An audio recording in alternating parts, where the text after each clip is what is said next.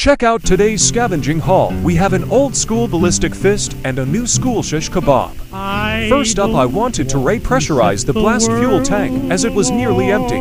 I decided to use this old thing I found last week to siphon fuel from. A couple of pumps and it was all charged up, and I could move on to conditioning the old gloves leather. It was time to try it on, and although it was scary, I think it's pretty neat. Now it was time to look at this shish kebab. First thing I noticed was that all the joints were seized up and needed an oiling before they would function.